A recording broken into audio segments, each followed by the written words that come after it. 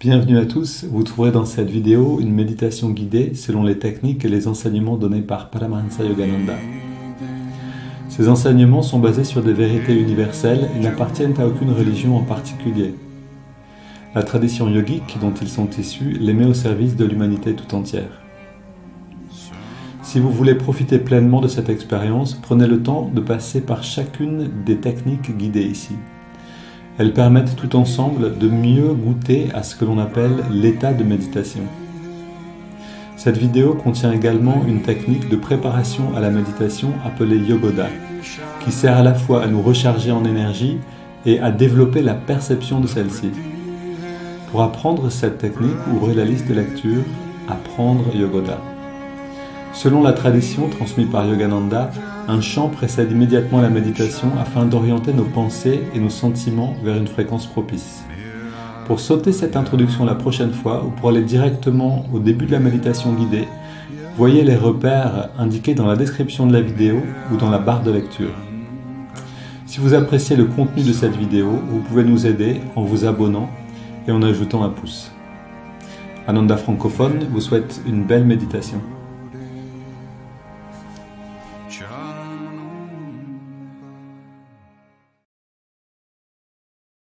Those people who think in terms of, well, I've got to find my happiness and then I can help other people to find happiness because if I'm not happy, what have I got to give anybody else? Are not happy 10, 20, 30 years later. And again, the other side of the picture is those people who think in terms of um, how can I help other people? What are the solutions instead of dwelling on the problems? When they see that other people aren't doing uh, right or when they feel that they're not being treated right, instead of sitting there and brooding about it, they say, well, after all, uh, that's their problem if they're not treating me right, but my problem is how do I take it? And they decide that they uh, are happier if they respond in a charitable, supportive uh, way. And uh, why not be happy?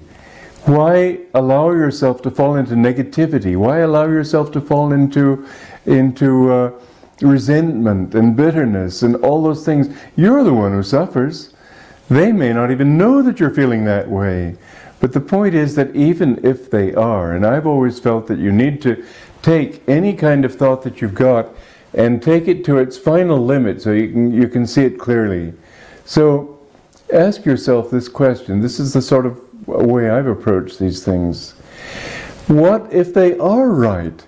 What if they really are uh, prejudiced against you, biased against you, trying to keep you out of things so that you can't uh, uh, get a proper position in your work, don't appreciate you, all the thoughts that come to people.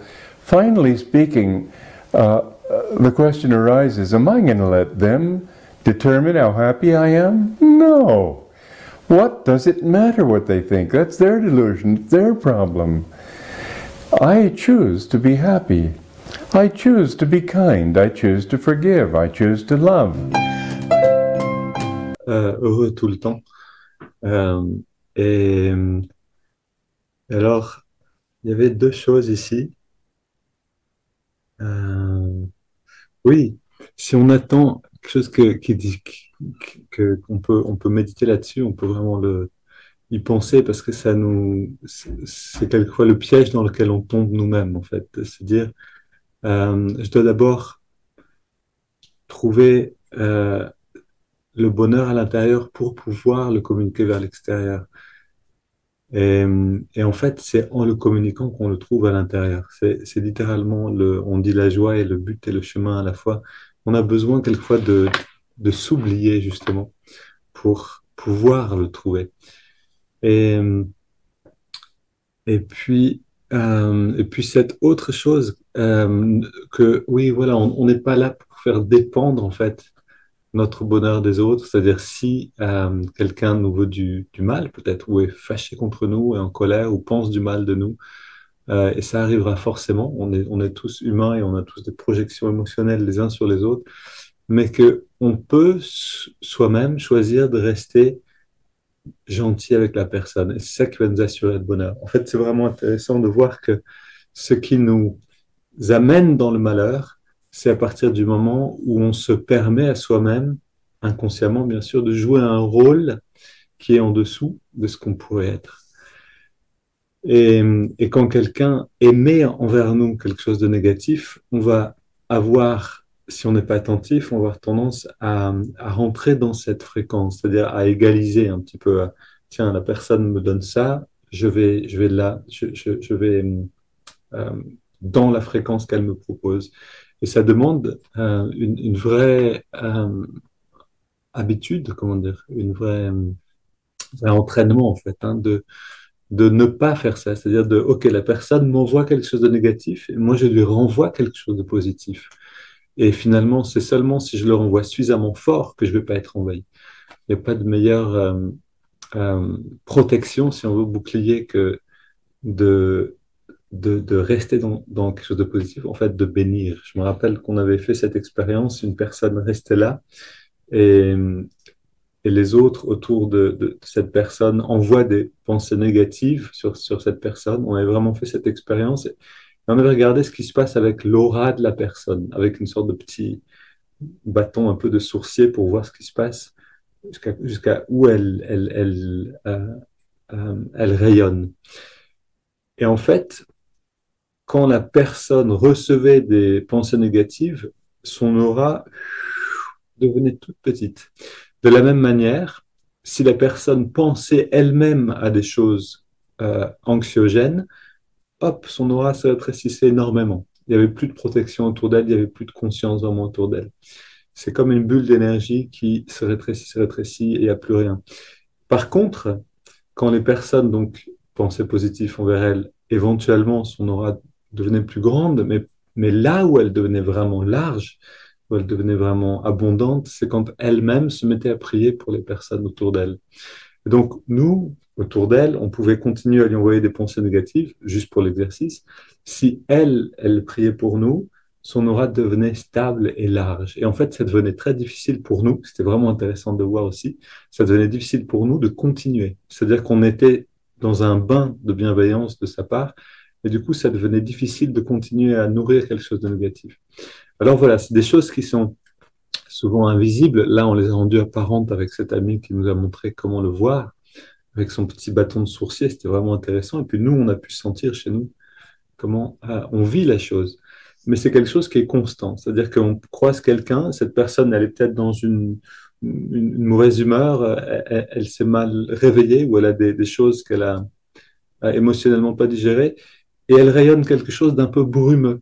Et nous, on est là et soit on va prendre cette brume à l'intérieur de nous, et donc ça va être très difficile de se sentir bien parce qu'on va être dans la brume, ou alors on va lui envoyer quelque chose de positif avec suffisamment d'intensité pour percer la brume et rester euh, euh, safe, comment dire, rester sain et sauf, rester euh, dans, la lumière. Et c'est ça qui va bien sûr faire du bien à la personne, et c'est ça qui va nous faire du bien à nous. Donc on peut parler ici de ce qu'on appelle l'égoïsme spirituel. C'est parce que je veux en fait être heureux que je donne. Et c'est un, un, faux égoïsme, bien sûr. C'est parce qu'on est là pour grandir spirituellement et on peut le faire que en étant euh, dans l'abondance envers l'extérieur. Ok, c'est quelques mots et puis on va se redresser et recharger le corps en énergie. Je vois qu'il ferme déjà les yeux, sinon on va se rendormir. Redressons-nous. Redressons.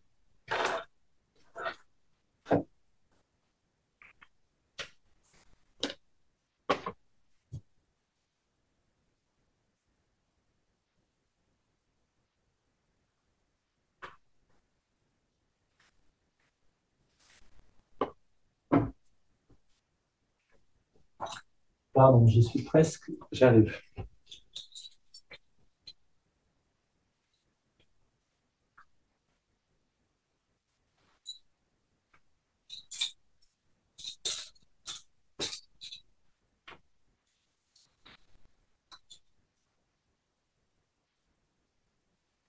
Et voilà. Ô Esprit infini, recharge notre corps avec ton énergie cosmique notre mental avec ta concentration et ta détermination, notre esprit avec ta sagesse et notre âme avec ta joie toujours nouvelle. Éternelle jeunesse du corps et de l'esprit, demeurons-nous pour toujours. Et on tend les bras devant nous, double inspire, on contracte les muscles, et on relâche, toujours progressivement, pour pas brusquer les muscles, progressivement mais intensément.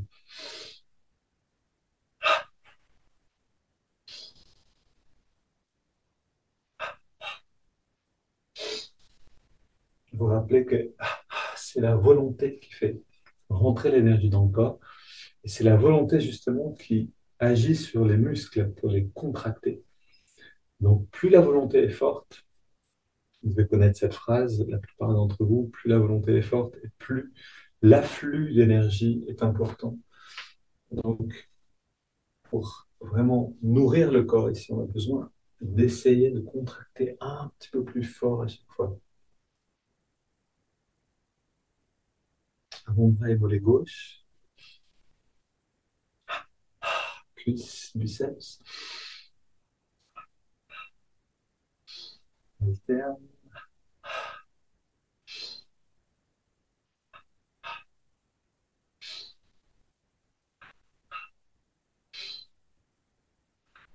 Et on change de côté.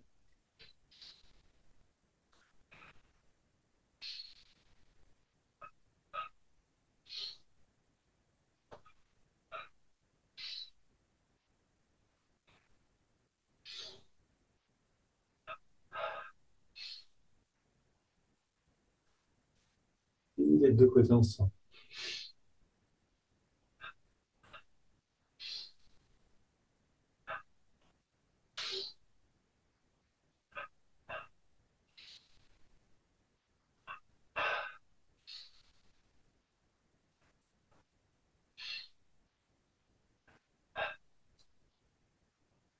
Une grande inspire, expire détente.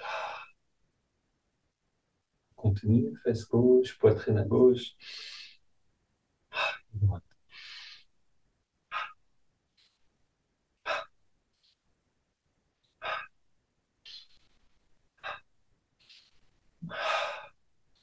Le bas du dos à gauche et à droite.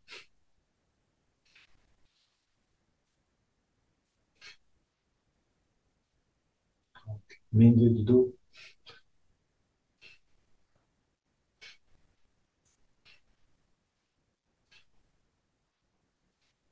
Et le haut du dos.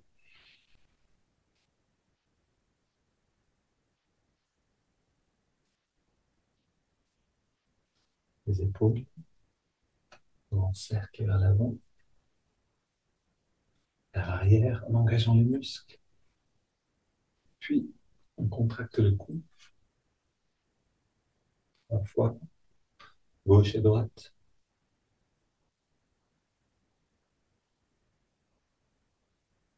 La nuque, en redescend. On relâche.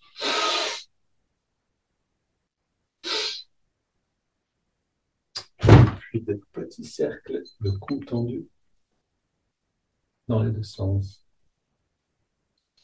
Détendu, grand cercle.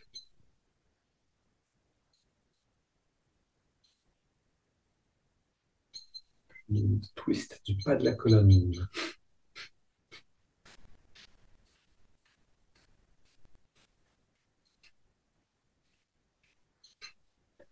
sur les hanches, jambes légèrement écartées.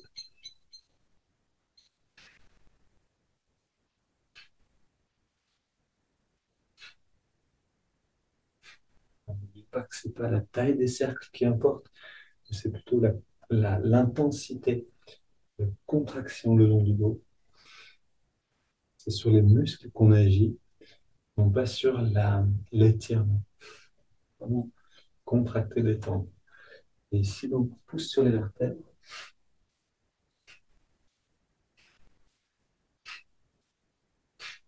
Tendu vers l'avant twist du haut de la colonne.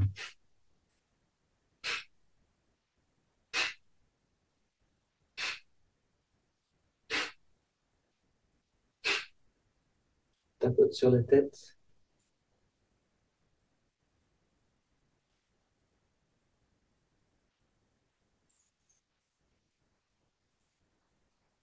masse le cuir chevelu.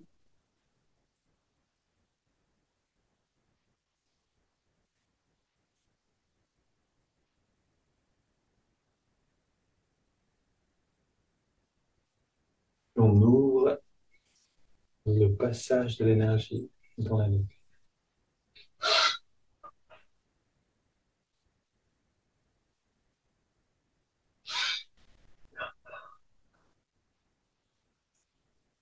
Encore une fois, faire rentrer l'énergie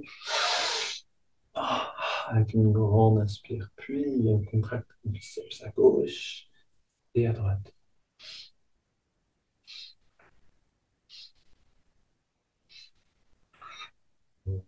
Les bras, les, les, tous les muscles du corps. Encore une fois. Puis on contracte le pied gauche et on relâche à l'expire le pied droit et on relâche. On est gauche, on relâche, on est droit et on relâche. Cuisse gauche, cuisse droite.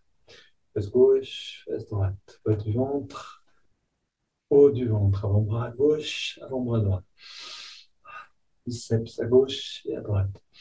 Poitrine à gauche, à droite. Puis le cou. Gauche, droite, devant et derrière. On contracte le pied gauche, on ajoute le pied droit, on ajoute le mollet gauche et le droit. Cuisse gauche, cuisse droite, fesse gauche, fesse droite, bas du ventre du ventre, l'ombre gauche et droit, biceps les deux. Poitrine, pareil, double inspire. On contracte tout au maximum. On relâche le cou, la poitrine à droite et à gauche, biceps droit et gauche, avant-bras droit et gauche, le haut du ventre, le bas du ventre, fesse droite, fesse gauche, cuisse droite, cuisse gauche, mollet droit et gauche, pied droit, pied gauche. Double inspire, tous les muscles encore une fois. Et encore une.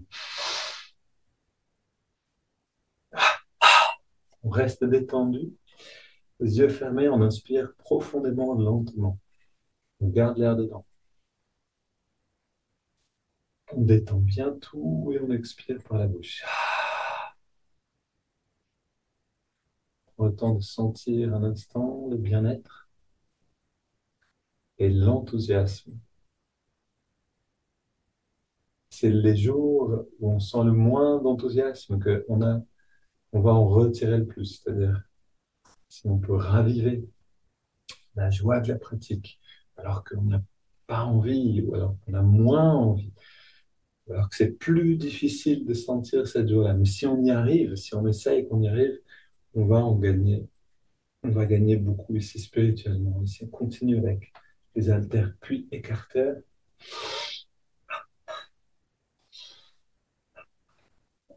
latéral.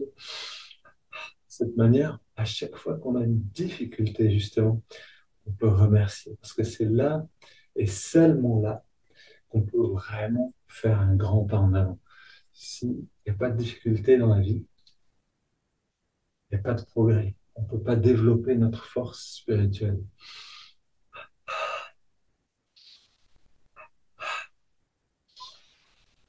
Ok, on ferme les mains. vraiment, une des clés de comment être heureux tout le temps, c'est le sourire. Et je sais que c'est très difficile au début, on n'est pas habitué à sourire. On n'est pas habitué à sourire pour rien. Et ça demande un effort de trouver quelque chose de drôle, de se rappeler cette chose-là, puis de rester dans l'énergie du rire, du sourire. Mais c'est possible, avec un peu d'entraînement, ça devient même de plus en plus facile. Bras gauche tendu.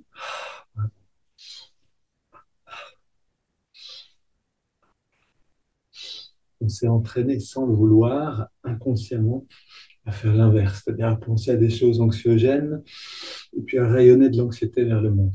Maintenant, on a besoin de rééquilibrer la balance. Si le monde est comme ça, c'est vraiment pour cette raison. Première pollution, c'est la pollution de la conscience. Donc, on a besoin de faire l'effort. Allons jusqu'à sentir la joie à l'intérieur. Allons jusqu'à vivre à l'intérieur. Puis on marche sur place avec de l'élan. Je suis positif, énergique et enthousiaste.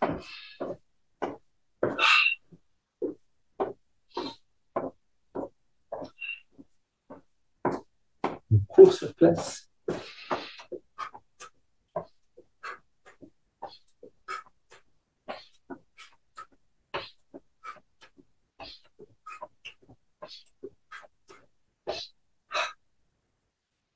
Et pied gauche devant.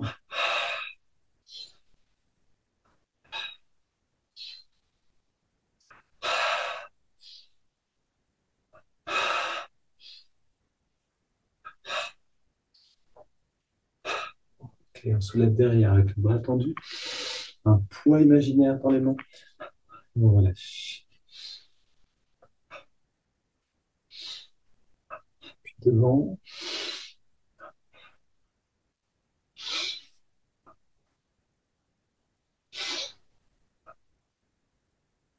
Voilà. On s'entraîne à avoir la force pour soulever les poids que la vie nous donne à porter.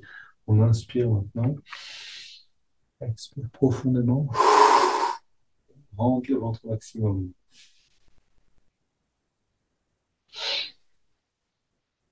Une fois. On rentre et on sort le ventre.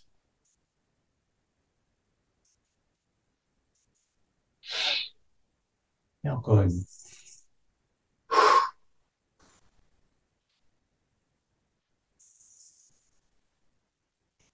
On se redresse, bras tendus devant.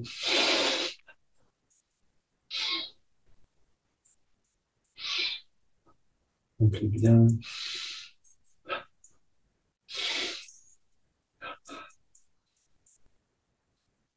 Et on s'entraîne vraiment à soulever les poids que la vie nous demande de porter. C'est vraiment intéressant de vérifier, de voir. Vous pouvez voir par vous-même que quand vous avez une pratique spirituelle, vous vous entraînez chaque jour à soulever le poids, à soulever, euh, à fortifier en fait l'esprit. Et donc la vie, d'une certaine manière, vous laisse tranquille. Il y a quelque chose de plus fluide. Et c'est intéressant de voir que quand on n'est pas dans cet entraînement-là, dans cette pratique régulière, alors la vie a besoin de créer des circonstances difficiles pour nous faire quand même avancer, pour nous fortifier quand même. Et là, soit on, soit on grandit, soit on s'effondre. On a vraiment toujours cette, euh, cette vie qui nous pousse vers l'avant. Soit on va avec elle et on médite de nous-mêmes, ou on fait nos pratiques, quelles que soient les pratiques, soit non. Mais dans ce cas-là, la vie va nous pousser de toutes ses forces et ça passe pas de la même manière. Ici, essayons avec grande détente. On ramène les bras vers nous.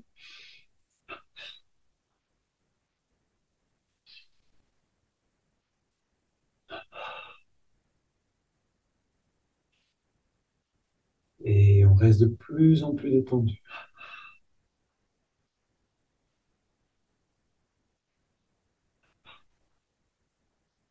Un peu. Sentons l'énergie qui grandit tout autour.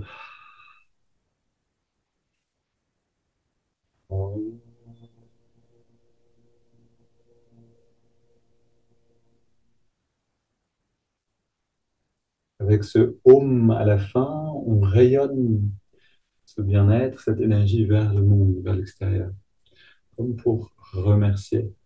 On relâche les bras le long du corps et on sent simplement à l'intérieur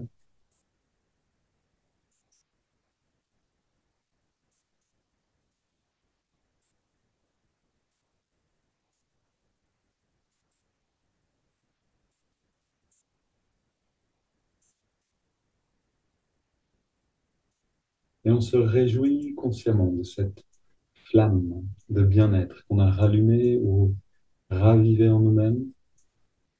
Parce que c'est quand elle est bien visible, cette flamme, qu'on va pouvoir la communiquer.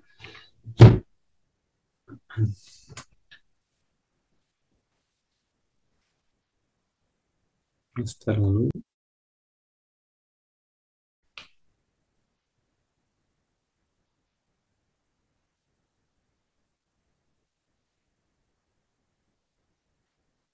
On est assis, les yeux fermés, redressés, détendus. On va chanter justement ce chant qui invite cette conscience, cette conscience suprême qu'on appelle Ram à entrer en nous, à se manifester. Et pour que le divin entre dans le temple, on a besoin de faire propre et aussi de donner envie au divin, de l'inviter vraiment à l'intérieur. Où est notre conscience? Quelles sont les qualités de nos pensées maintenant? Est-ce qu'on peut ressentir la zone du cœur? Est-ce qu'on peut être euh, dans la détente? Un sentiment positif. C'est parce que nous, on fait l'effort d'aller dans un sentiment positif que la grâce peut nous aider, nous élever encore.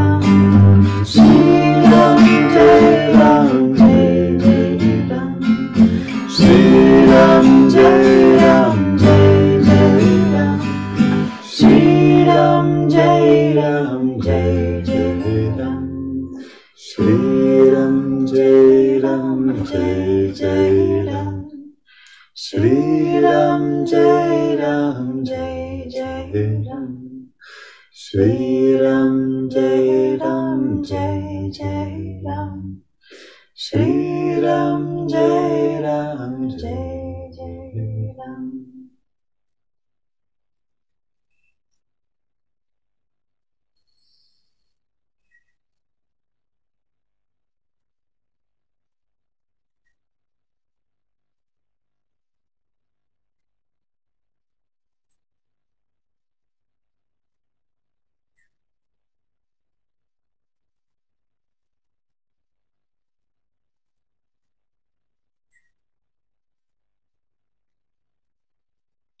Et les chants dévotionnels peuvent nous emmener très loin. On apprend à les chanter, à écouter. Et si on les chante avec sincérité, avec confiance, alors juste un chant peut nous amener tout au bout du chemin, peut nous plonger dans l'état de la béatitude. Essayons de sentir les prémices de ça.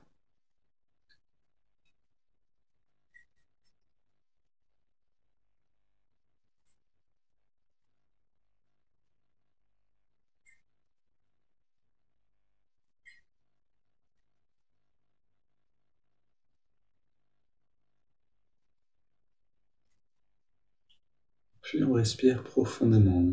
Le ventre sort au début de l'inspire et rentre à la fin de l'expiration.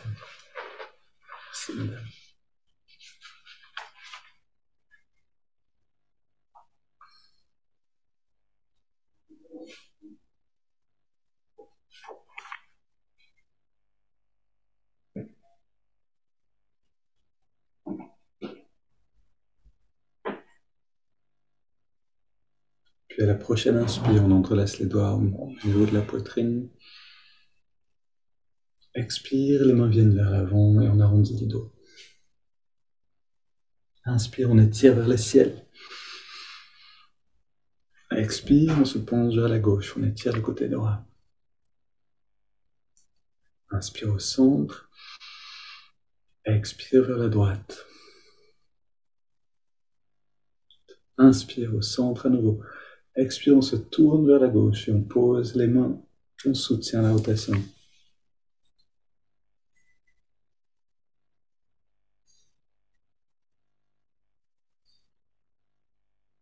Et on vient au centre. Inspire, on étire vers le ciel.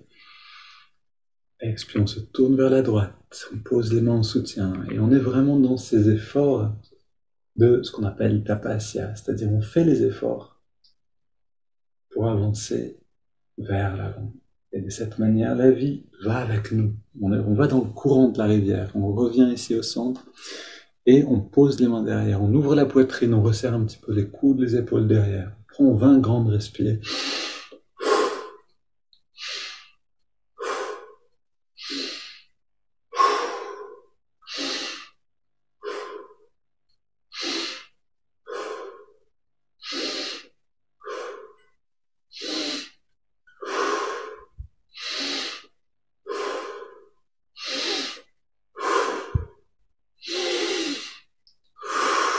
Maintenant, on augmente l'amplitude des respirations.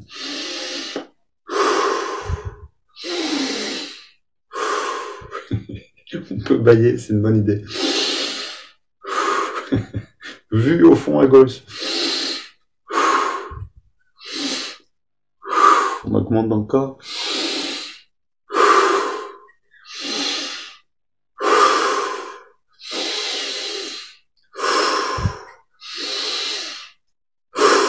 Cinq dernières.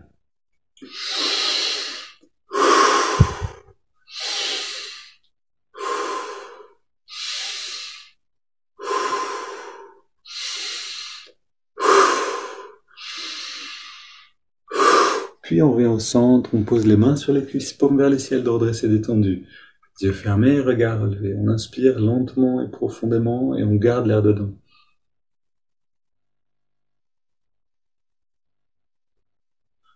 On retient le souffle et on détend tous les muscles. Le plus possible. Encore un peu plus. Puis on expire en laissant l'air sortir par la bouche. Puis on s'arrête simplement de respirer.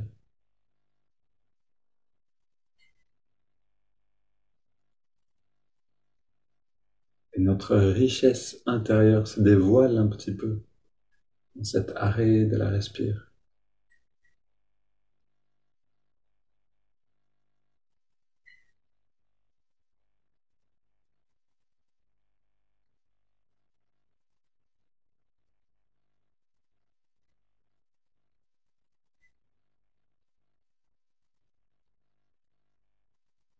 On inspire à nouveau. On garde l'air dedans. On rentre le ventre, on contracte le périnée, on redresse le regard. On relâche et on expire.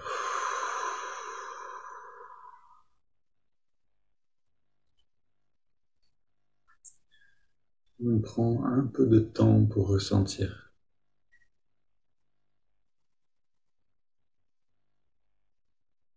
Ou plutôt pour contempler vraiment comme un paysage intérieur, un panorama.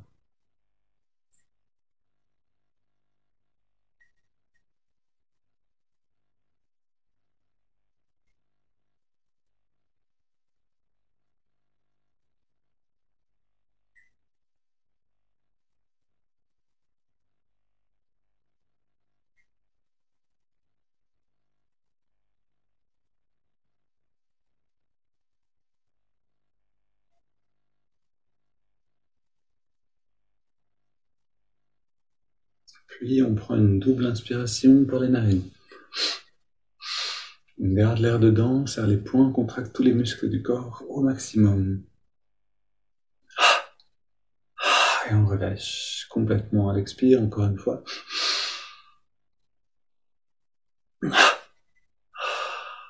Et encore une.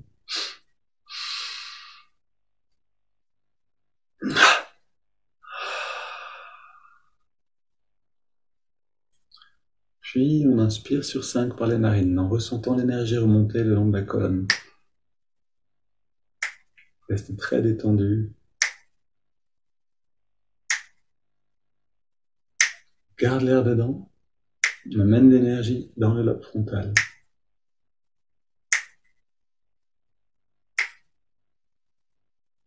Expire. Sens comme une lumière se diffuse dans tout le corps et au-delà. Inspire à nouveau.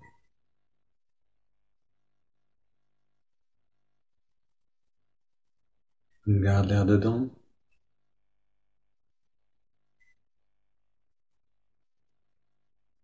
Expire.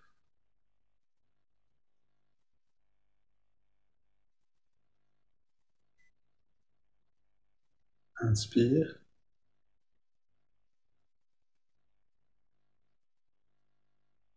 Garde.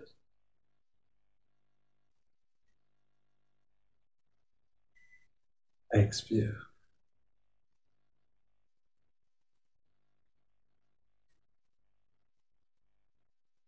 Inspire.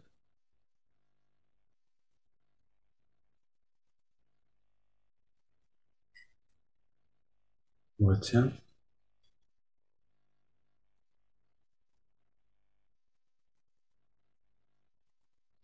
Expire.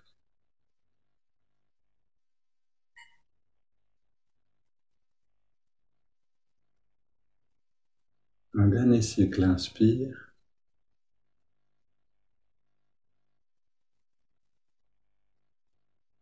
On garde. Expire.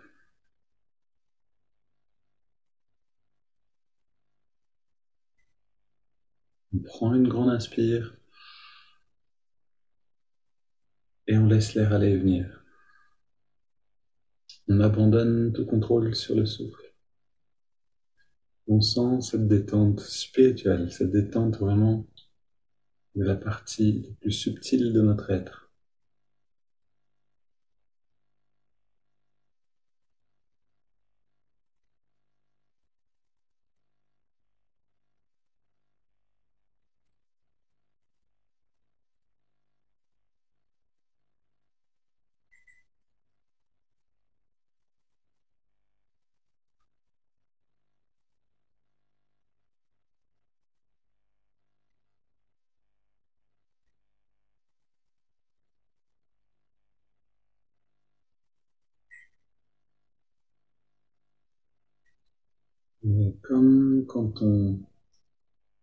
Déguste quelque chose de délicieux de la même manière.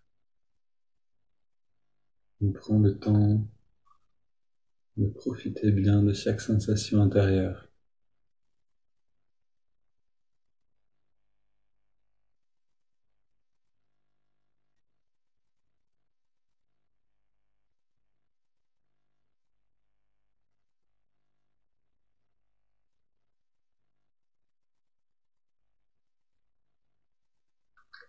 Écouter dans cette intériorité, on va écouter un petit peu à nouveau du, livre Comment être heureux en chaque instant, How to be happy all the time, de un condensé de la sagesse de Yogananda.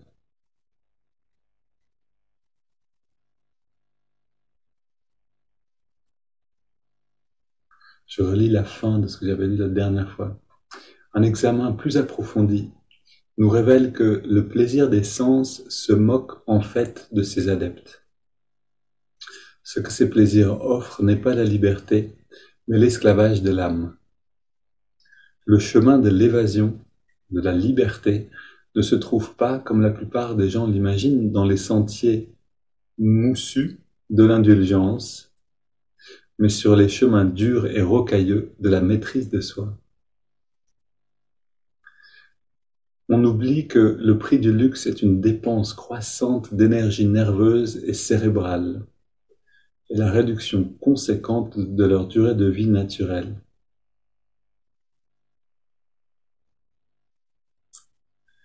Les matérialistes sont tellement absorbés par la tâche de gagner de l'argent qu'ils ne peuvent pas se détendre suffisamment pour profiter de leur confort, même après l'avoir acquis. La vie moderne est si insatisfaisante. Observez les gens autour de vous. Demandez-vous s'ils sont heureux. Voyez les expressions tristes sur de nombreux visages. Observez le vide dans leurs yeux. Une vie matérialiste tente l'humanité avec des sourires et des assurances, mais elle n'est cohérente qu'en cela. Elle ne manque jamais à terme de rompre toutes ses promesses.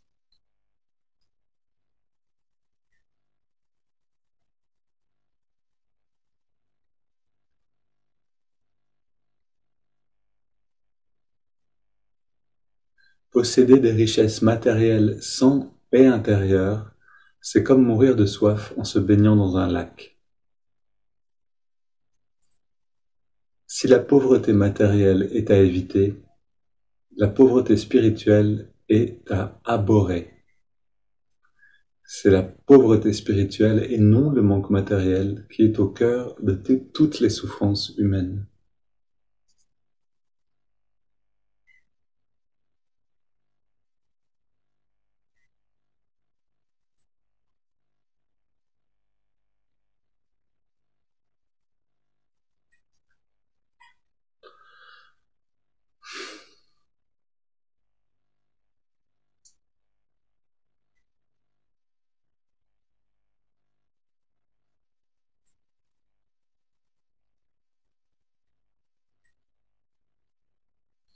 Et c'est bien ce que la vie nous demande de faire. Chaque jour, elle nous demande d'aller chercher un petit peu plus dans la bonne direction.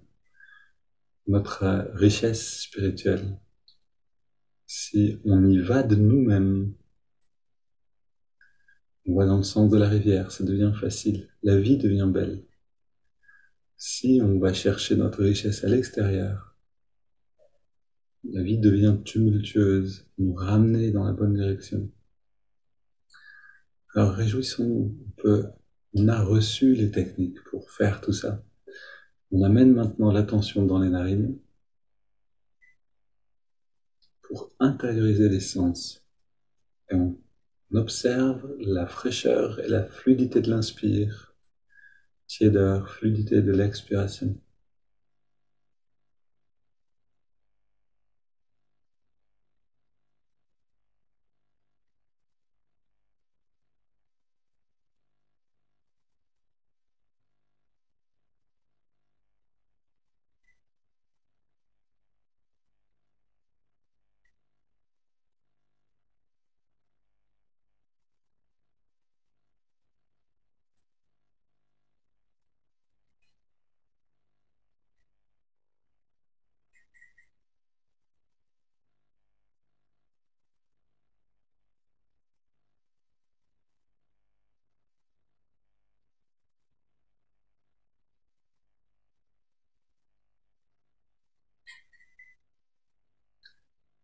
Et on apprend à observer de manière constante, c'est-à-dire à ne pas se perdre dans les pensées.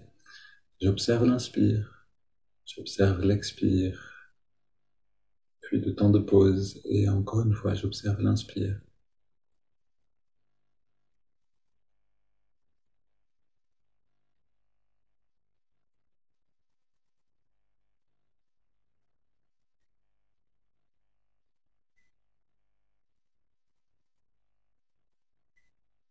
Qu'on est en train de faire maintenant, apprendre à être fidèle, à garder l'esprit là où on veut qu'il soit, ce qu'on apprend à faire maintenant, on n'aura pas à le faire à travers la douleur.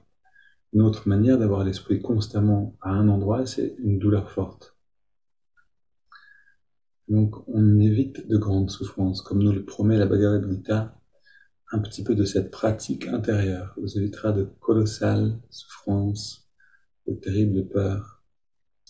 Tout ce que la vie a besoin d'orchestrer si on ne veut pas faire notre part de travail.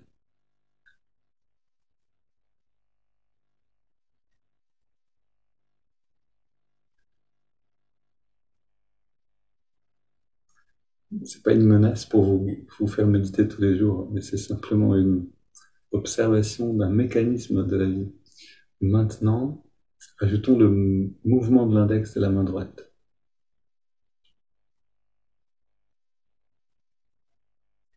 Chaque inspire, l'index revient un petit peu vers la paume de la main. À chaque expiration, on relâche l'index complètement et on détend les muscles. On apprend à lâcher prise avec cette technique.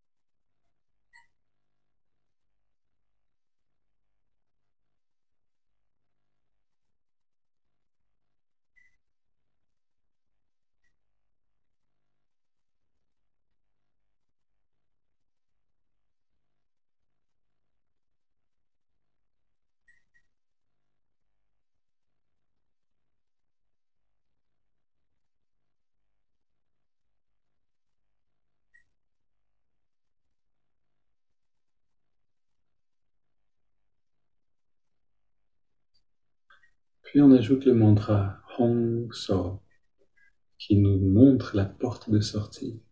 Sortir de l'identification au corps et s'identifier à cette grande conscience. Hong accompagne l'inspiration et So l'expiration naturelle.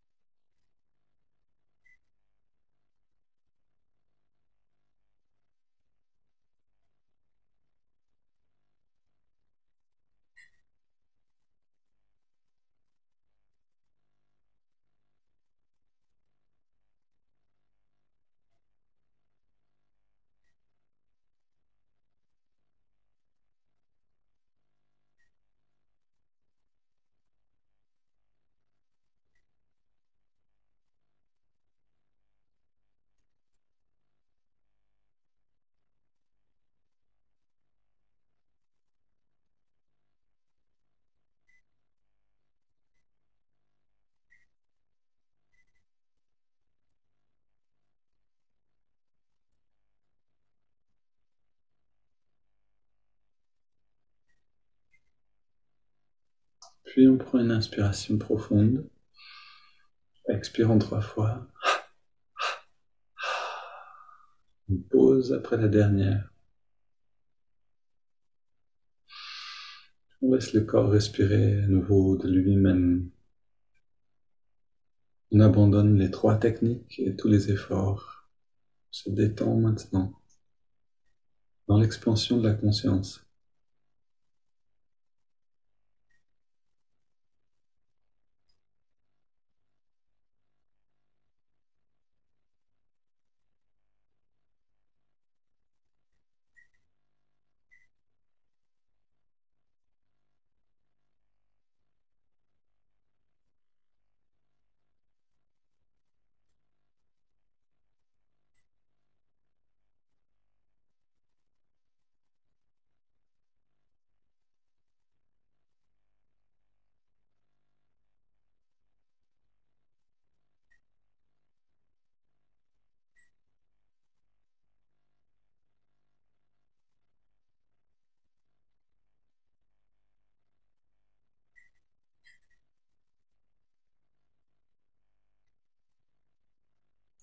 Une bonne image, c'est de voir cette lumière qui est dedans, qui provient de l'œil spirituel et qui s'intensifie progressivement. Le fait de l'observer, ça va amplifier notre ressenti, notre expérience.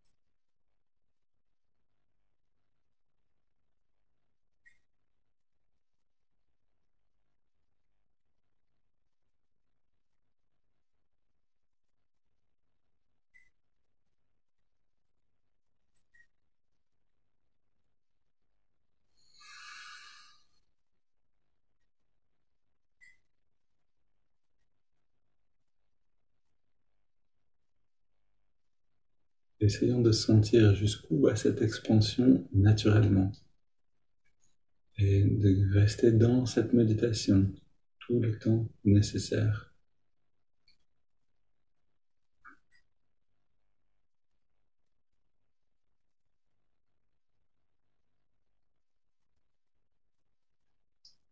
bonne journée à tous.